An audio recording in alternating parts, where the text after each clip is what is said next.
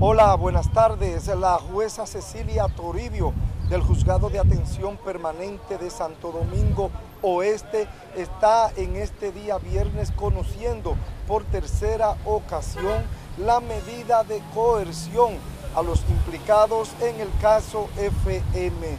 Recordar que la segunda vez que se intentó realizar esta etapa de este proceso fue el pasado viernes, pero se aplazó con el objetivo de dar tiempo a varios abogados de, los, de algunos imputados a que se empaparan y conocieran por completo el expediente. En aquella ocasión, eh, varios familiares y amigos allegados a los imputados estuvieron aquí frente a esta Fiscalía de Santo Domingo Oeste expresando su apoyo a los implicados. Recordar que entre las personas que están acusadas en este entramado de lavado de dinero proveniente del narcotráfico está la ex diputada Gladys Ascona y un hijo de esta que sus abogados están en este preciso instante conociendo este caso